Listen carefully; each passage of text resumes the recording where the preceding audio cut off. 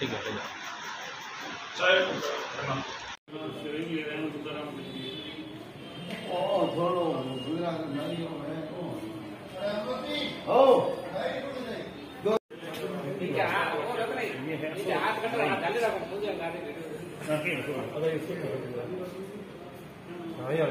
भारत जन आवास योजना के तहत अब हर बाड़मेर वासी अपने घर का सपना कर सकेंगे साकार।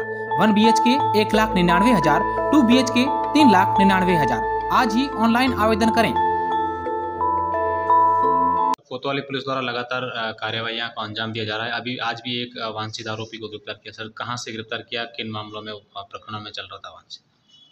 ये अशोक कुमार नरेंद्र सेन निवासी नेहरू नगर का रहने वाला है इसने 2019 में एक व्यक्ति के साथ मारपीट करके उसके एटीएम लूट कर लिया और उससे कोड लेके उससे एटीएम से पैसे निकाल दिए थे विड्रॉ करवा दिए। थे इसका मुकदमा हुआ था और मुकदमा और घटना के बाद से ये फरार चल रहा था। उसको सिरोही से पुलिस द्वारा दस्तियाब किया गया और कल रात देर रात गिरफ़्तार करके आज पेश किया गया सर कब से वांछित था ये? 2019 से। इसके खिलाफ दो तीन मुकदमे और हैं यहाँ। और एक जोधपुर में उसका स्टैंड वारंटी है जोधपुर में भी वांटेड है। चोरी के इस हाँ, चोरी लूट।